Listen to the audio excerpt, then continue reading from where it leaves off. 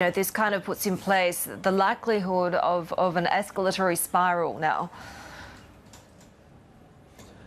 Look, this is no question. This is an actual escalatory uh, step. The U.S. and the U.K. Uh, had warned that there would have to be some reaction if there were strikes that were continuing. We've seen uh, shipping disruptions, uh, ships try and, and go around uh, Africa rather than utilizing normal sea routes.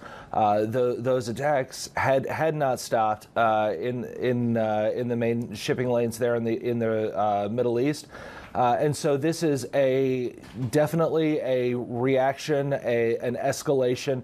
Uh, there have been concerns that that you know you sort of you start escalating. Where does that escalation end? I do think that has been a concern that has been playing here. Um, I, I, also uh, I, it's it's very clear from some of the reports that we're seeing in that these strikes have begun.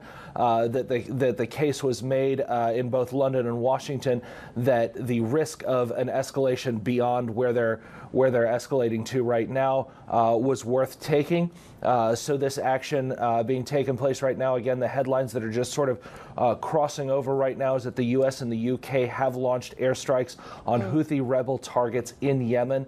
Uh, we've got reports of uh, explosions in places around the country. very, very preliminary right now. So this is just the beginning.